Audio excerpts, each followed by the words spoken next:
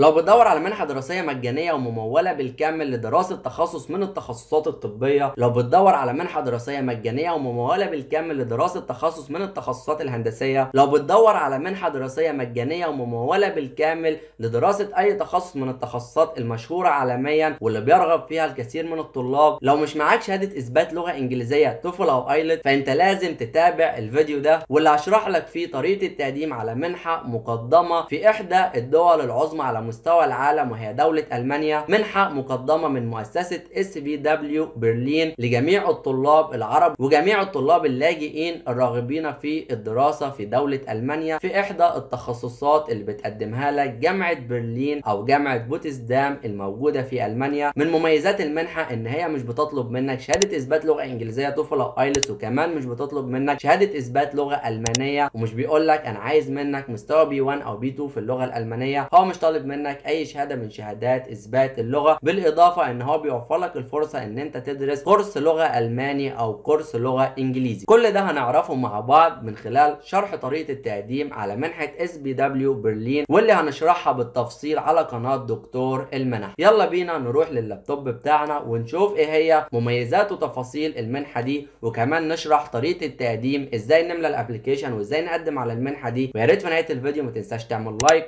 تعمل subscribe واشتراك في القناة وتفعل الجرس وتعمل share. دعما منك للجهود اللي بنحاول نقدمها وعلشان تنشر المعرفة والمعلومات دي لغيرك. يلا بينا.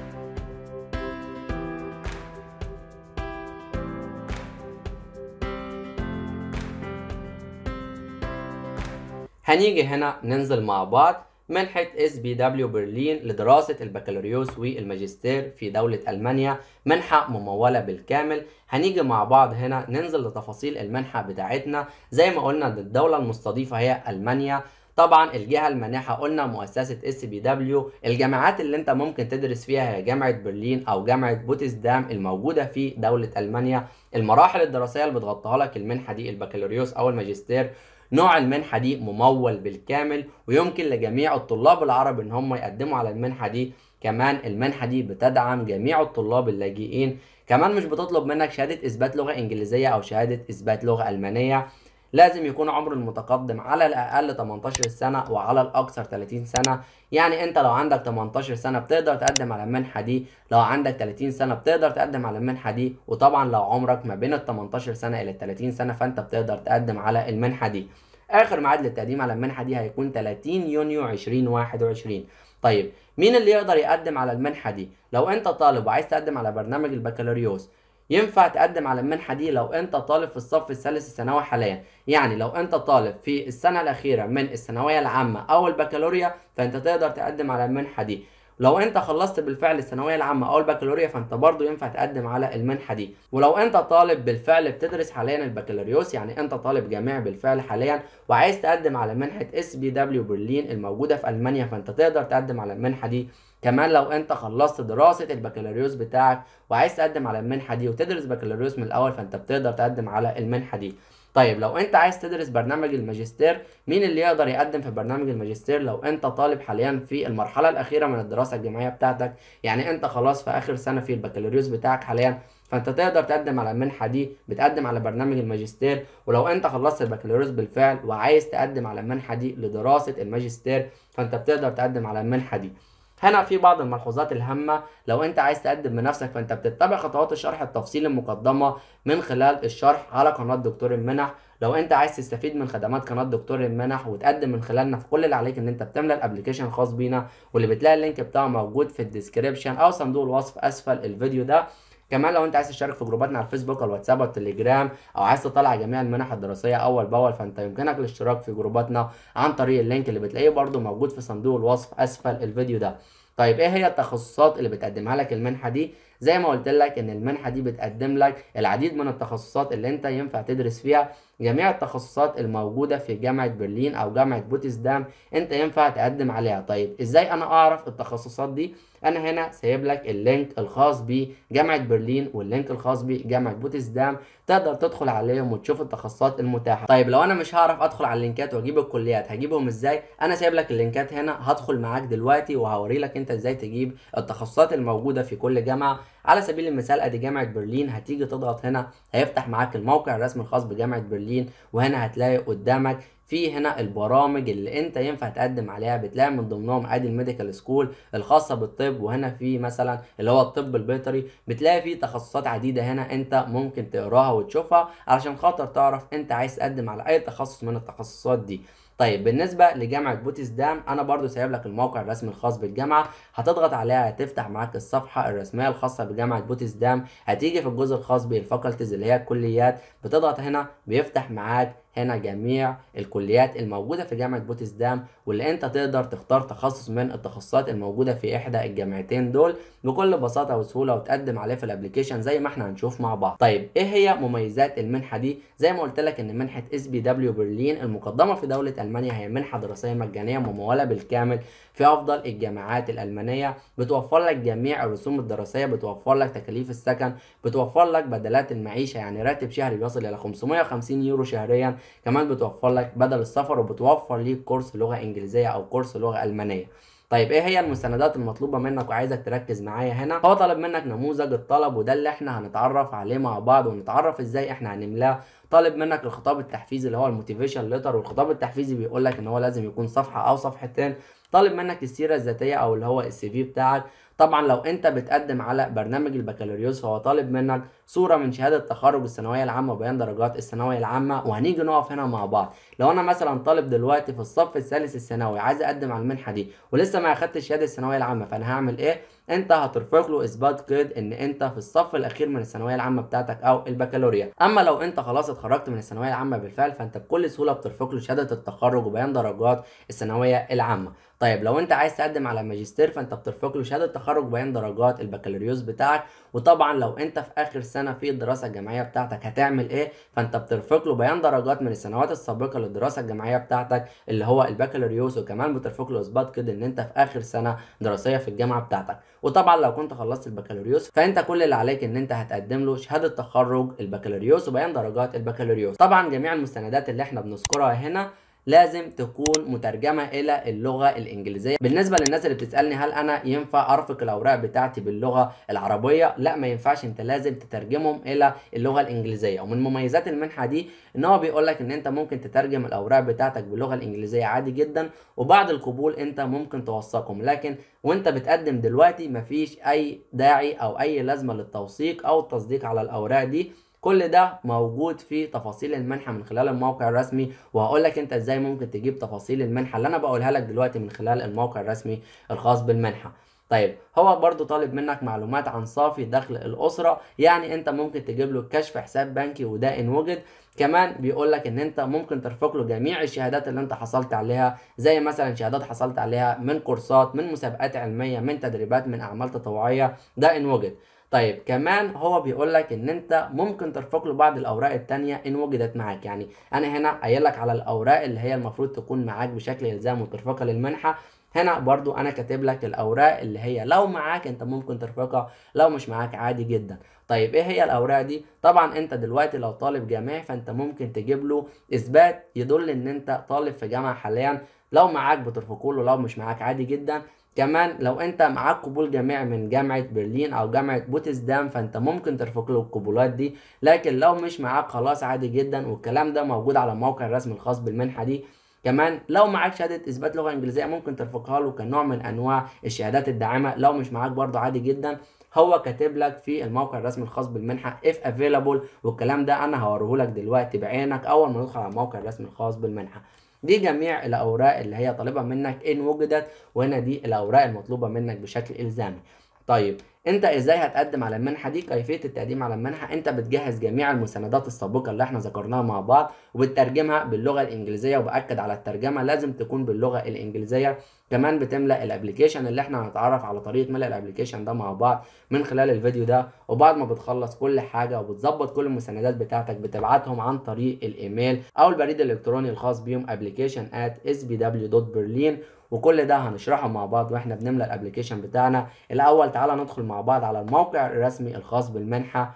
هتفتح معانا دلوقتي الصفحة الخاصة بمنحة SBW برلين هنا فتح معاك الموقع الرسمي الخاص بالمنحة زي ما انت شايف قدامي هنا. هنا على اليمين بيقول لك application process هنا في ال application process بيقول لك انت نظام المنحة ده هيمشي إزاي. يعني أول حاجة مثلا طالب منك ال documents اللي هو ال application اللي إحنا هنشرح طريقة التقديم عليه والمستندات اللي إحنا قلنا عليها. طبعا وبتبعتهم على الإيميل وبعد ما بتبعتهم على الإيميل هم بيعملوا ال process بتاعتهم وبعد كده لما يقبلوك بإذن ربنا هم بيكون في بعد كده interview في ال interview ده طبعا بيعملوا معاك interview online بيكون عن طريق زوم أو video conference whatever بيكون إيه هم هيتواصلوا معاك وهيقولوا لك على جميع المعلومات الخاصة بال interview بعد كده بيعملوا ال selection الأخير بناء على ال documents بتاعتك بناء على ال application بناء على ال interview وبعد كده هم بيقولوا لك إن أنت بإذن الله إن أنت اتقبلت في المنحة دي. طيب هنا هو كاتب لك زي description عن المنحة الخاصة ب SBW برلين scholarship أنا دلوقتي قبل ما ندخل على application form عايز أوري لك بعينك كل المعلومات والبيانات اللي أنا شرحتها لك. هتيجي تضغط هنا على ال guidelines هيفتح معاك ال PDF اللي أنت شايفه قدامي. هو هنا بيقول لك objective of the scholarship هو هنا بيشرح لك إيه هي المنحة دي مقدمة لمين؟ أدي مقدمة هنا بيقول لك لل bachelor's degree and ال master's programs كمان هو هنا بيقول لك إن الدراسة بتكون في جامعة برلين أو بوتسدام. كمان هنا بيقول لك هو can apply مين اللي يقدر يقدم على المنحة دي. أنت ممكن تقراهم هنا بنفسك. أنا بوري لك أماكن المعلومات دي من على الموقع الرسمي الخاص بالمنحة وشرحتهم لك باللغة العربية. أنت لو عايز تقراهم بنفسك ممكن تقراهم بنفسك بس علشان أوفر عليك وقت الفيديو. بعد كده هنا بيقول لك application requirements أدي هنا بيقول لك السن بيكون من 18 سنة ل 30 سنة. انت اقرا بقى المعلومات دي. هنا بيقول لك بالنسبة لل deadline ال deadline بيقول لك في 30 يونيو 2021 كمان هنا بيقول لك applicants must submit at least the following documents. دي بيقول لك ادي الملفات اللي هو طالبها منك بشكل إجباري. بعد كده هنا بيقول لك اهو if available يعني لو متاح معاك copies of the following documents should be included. هو هنا بيقول لك لو انت متاح معاك اي ورق أو اي مستند من المستندات دي فانت يفضل ان انت ترفقها. لو مش معاك عادي جدا هو هنا بيقول لك ومعلم لك هنا تحتها بخط اسود اهو if available. بعد كده هنا انت لو عايز تقرا في ال selection criteria لو عايز تقرا بعد كده في ال selection process انت ممكن تقرا الحاجات دي كلها بنفسك. علشان ما اطولش عليك وقت الفيديو تعال نروح مع بعض نضغط على ال application form وهنشوف مع بعض إزاي إحنا هنملى ال application ده. فتح معاك ال application الخاص بمنحة SBW برلين أول حاجة طالب منك ال personal data اللي هي المعلومات الخاصة بيك. بتكتب اسمك انت هنا بتكتب اسمك الرابع. بتدخل تاريخ ميلادك يوم شهر سنة. بتكتب الجنسية بتاعتك بتكتب الحالة الاجتماعية بتاعتك سواء متزوج أم أعزب. بعد كده هنا بيقول لك ال academic status ال academic status دي معناها إيه؟ انت بتكتب له. لو انت لسه في مدرسة ثانوية أو بكالوريا فانت بتكتب له. still in school هو كاتبها لك هنا من تحت بين قوسين. still in school لو انت في جامعة حاليا فأنت بتكتب له studying at university. لو أنت اتخرجت بتكتب له إن أنت graduated. whatever الحالة بتاعتك إيه أنت بتبدأ تكتبها هنا. ال monthly income لو أنت بيدخل عليك أي راتب شهري فأنت بتكتب له الراتب الشهري بتاعك هنا. لو ما بيدخلش هنا فأنت بتكتب N slash A اللي هو not applicable بعد كده هنا بيقول لك ال current postal address اللي هو العنوان بتاعك بتكتب له اسم الشارع رقم المنزل اللي انت بتعيش فيه ال zip code اللي هو انت بتجيبه من على جوجل بتكتب zip code زائد اسم المنطقة اللي انت عايش فيها بيطلع لك رقم بتكتبه. تكتب هنا في ال city اللي هي المدينة بتاعتك ال state اللي هي المحافظة بتاعتك وال country اللي هي الدولة بتاعتك. ال contact details طبعا بتكتب له رقم التليفون بتاعك بتكتب له البريد الإلكتروني أو الإيميل بتاعك. وتأكد إن الإيميل ده صحيح لأن هم يتواصلوا معاك عن طريق الإيميل ده. بعد كده هنا في ال social media profiles لو أنت عندك أي صفحة من صفحات التواصل الاجتماعي زي لينكد إن زي تويتر يوتيوب والفيسبوك فأنت بتجيب ال link وبتنسخه له هنا. لو مش معاك أي حاجة من دول فأنت بتيجي هنا بكل بساطة بتعمل N slash A اللي هو not applicable بعد كده هنا بيقول لك your photograph فأنت هنا بترفق له صورة شخصية ليك. بعد كده بتيجي هنا في ال data of your mother فأنت هنا بتدخل معلومات عن والدتك اسم والدتك واسمها الرابع والدولة اللي هي عايشة فيها حاليا وال current occupation اللي هو هي بتشتغل إيه حاليا. لو مثلا ربة منزل فأنت ممكن تكتب إن هي ربة منزل لو هي بتشتغل في مكان معين فأنت بتكتب اسم الشغل بتاعها وال monthly income اللي هو الراتب الشهري بتاعها كام.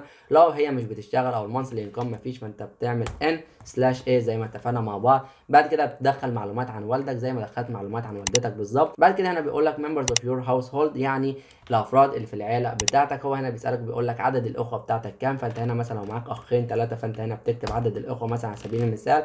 بعد كده هنا بيقول لك عمرهم فأنت هنا مثلا بتكتب عمر كل واحد فيهم 20 سنة 18 ايا كان عمر إخواتك إيه بتكتبه. بعد كده هنا بيسألك total number of household members يعني عدد أفراد الأسرة بتاعتك بما فيهم أنت بما فيهم والديك فأنت بتكتبهم هنا. بعد كده هنا بيقول لك الانكم بتاع الأسرة كله يعني الدخل الشهري الخاص بالأسرة كام فأنت بتكتب له الدخل الشهري الخاص بالأسرة ويا ريت لما تكتب له اكتب له باليورو. يعني لو أنت بتتكلم في جمهورية مصر العربية بتتعامل مثلا بالجنيه المصري فأنت تحسب الدخل ده باليورو. لو أنت من أي دولة تاني فأنت بتحول الدخل اللي بيدخل عليك بالعملة الخاصة بالدولة بتاعتك إلى عملة اليورو.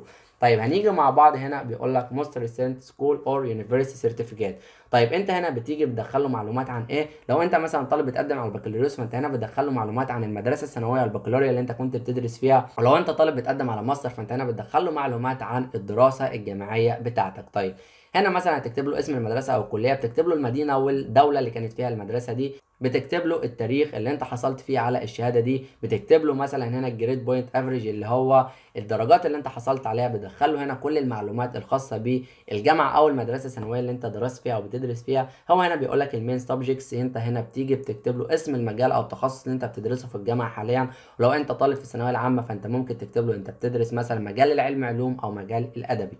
بعد كده هنا بيقول لك highest school leaving certificate بتدخل له هنا معلومات عن المدرسة الثانوية اللي انت اتخرجت منها أو انت مثلا بتدرس فيها حاليا. هو هنا بيقول لك already obtained degrees only يعني لو انت طالب خلصت الثانوية العامة بالفعل فانت بتملى البيانات المطلوبة منك هنا. لو انت لسه ما خلصتش فانت خلاص بتسيب الجزء ده فاضي لأن هو هنا بيقول لك already obtained degrees only يعني اللي حصل على الشهادة بالفعل. بعد كده هنا دي معلومات عن ال highest university degree لو انت حصلت على الشهاده الجامعيه بالفعل وبتقدم على برنامج الماستر فانت بتدخل له معلومات عن الدراسة الجامعية بتاعتك هنا. زي ما انت شايف قدامك بتدخل اسم الجامعة المدينة والدولة كانت فيها الجامعة تاريخ التخرج بتاعك الدرجات اللي حصلت عليها ال degree name وال main subject اللي انت كنت بتدرسه. بعد كده لو انت نشرت أي أبحاث فهو هنا بيقول لك ال name of thesis فانت بتكتب له ال thesis بتاعتك ورسالة البحث بتاعتك كانت بتتكلم عن إيه وانت حصلت على درجات كام في ال thesis بتاعتك أو رسالة البحث بتاعتك أو مشروع التخرج زي ما تسميه يعني لكن لو ما عملتش أي thesis فأنت بكل بساطة بتكتب N slash A بعد كده بتيجي معايا في ال current occupation لو أنت حاليا بتشتغل لو أنت حاليا طالب ايا كان فأنت بتكتب له معلومات عنك. مثلا بتيجي في ال position أو ال title فأنت بتكتب له إن أنت student بعد كده هنا بتيجي في الجزء الخاص بال desired career اللي هو studies and degree وركز معايا في الجزء ده. انت هنا بتكتب له اسم الجامعة اللي انت ناوي تدرس فيها سواء كانت برلين أو بوتسدام. بتكتب له طبعا ال country اللي هي الدولة مثلا برلين. بتكتب له التاريخ اللي انت مخطط فيه للدراسة في الدولة دي في الجامعة دي. بعد كده بتكتب له التاريخ اللي انت متوقع ان انت تتخرج فيه من الجامعة دي. بعد كده هنا بيقول لك name of the desired degree يعني الدرجة العلمية اللي انت عايز تحصل عليها مثلا بكالوريوس ولا ماستر. وهنا بتكتب له ال main subjects انت عايز تدرس إيه وطبعا إحنا قلنا التخصصات دي هتجيبها من خلال الموقع الرسمي الخاص بالجامعة سواء جامعة برلين أو بوتسدام. بعد كده هنا بيقول لك لو أنت بتتدرب أو عندك أي تدريب في أي شركة أو أي مصنع أو أي مكتب أو أي بنك ايا كان التدريب بتاعك فين فأنت بتكتب له معلومات عن التدريب ده. طبعا لو كان تدريب ممول يعني بيدفعوا لك فلوس فأنت هنا بتكتب له أنت بيدخل عليك كام وطبعا بعملة اليورو. لو ما فيش الكلام ده خالص فأنت بتعمل N slash A زي ما إحنا اتفقنا مع بعض اللي هو الحاجة دي مش متطابقة عليا. طبعا هنا بيقول لك internships and professional experience. لو انت عندك أي تدريبات حصلت عليها لو عندك أي خبرات فانت هنا بتيجي بتكتب له هو هنا مدي لك last work experience. انت هنا بتبدأ تدخل له معلومات عن ال experience بتاعتك أو التدريبات بتاعتك من الأحدث إلى الأقدم. يعني انت هنا لو جيت تاخد بالك معايا هنا last work experience بتكتب له هنا التاريخ اللي انت بدأت فيه التاريخ اللي انت انهيت فيه اسم الشركة والمكان اللي كنت بتتدرب فيه المدينة والدولة ال title أو ال position بتاعك كان إيه department بعد كده هنا بيقول لك areas of responsibilities اللي هي المسؤوليات بتاعتك كانت إيه. بعد كده بتيجي في رقم اتنين هو بيقول لك work experience before the one above.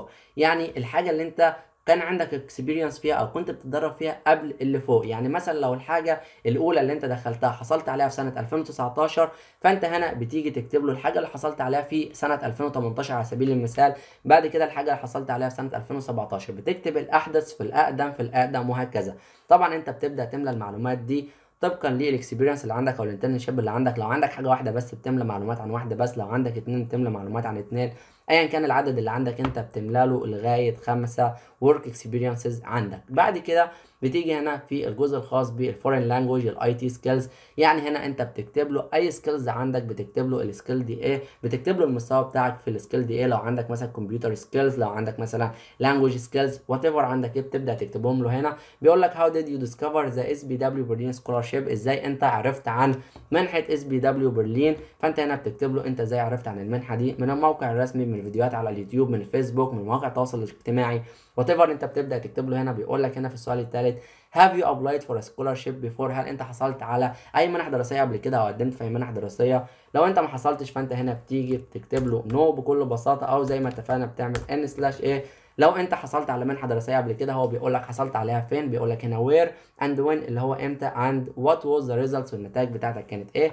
بعد كده هنا بيقول لك have you already traveled abroad هل سافرت خارج الدولة بتاعتك قبل كده؟ فأنت هنا لو سافرت خارج الدولة بتاعتك قبل كده فأنت هنا بتكتب له إمتى سافرت وأين سافرت وقعدت قد إيه المدة بتاعتك في السفر ده. بعد كده بيقول لك what did you discover أنت اكتشفت من خلال السفر بتاعك. طبعا بالنسبة للطلاب اللاجئين اللي بيقدموا على الفرصة دي فهم أكيد هيكتبوا إن هم سافروا بالخارج ويكتبوا هم سافروا إمتى والسبب بتاع السفر وهم قعدوا لغاية قد إيه في الدولة دي أو لو كانوا مستمرين طبعا لو أنت طالب سافرت لأي غرض عادي فأنت بتذكر الغرض ده لو ما سافرتش خالص قبل كده فأنت بتكتب no.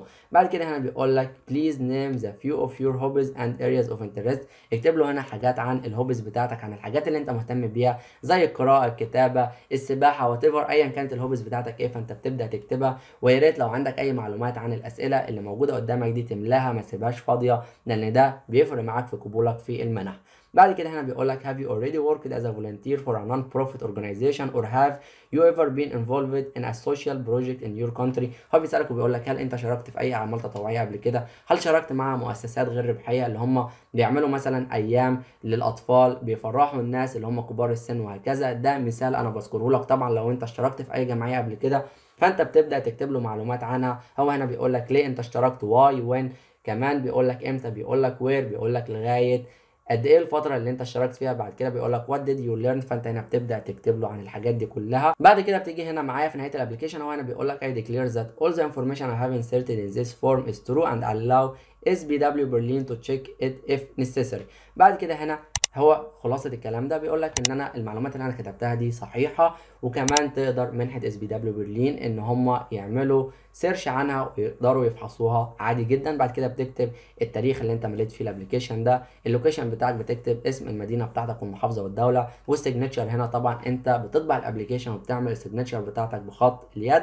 طبعا ال application ده انت بتاخده بعد كده scan أو سكانر وبتجمعه مع باقي المستندات اللي إحنا اتكلمنا عليها واللي قلت لك لازم تكون مترجمة باللغة الإنجليزية وبتبعتهم على البريد الإلكتروني الخاص بيهم.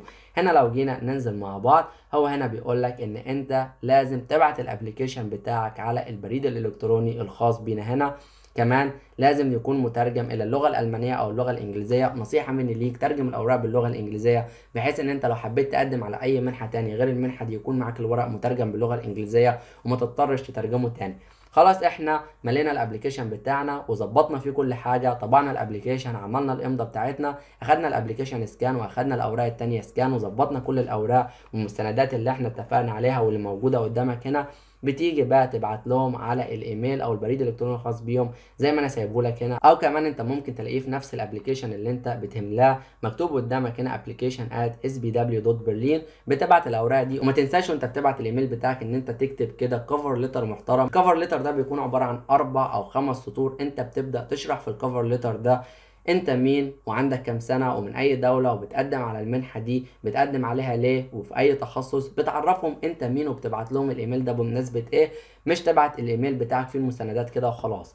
وبكده أنا هكون خلصت شرح طريقة التقديم على المنحة المقدمة من مؤسسة SBW Berlin في ألمانيا. أتمنى إن الشرح كان واضح وبسيط. ولو عندك أي سؤال أي استفسار ممكن تسيبه comment وأنا هرد عليه.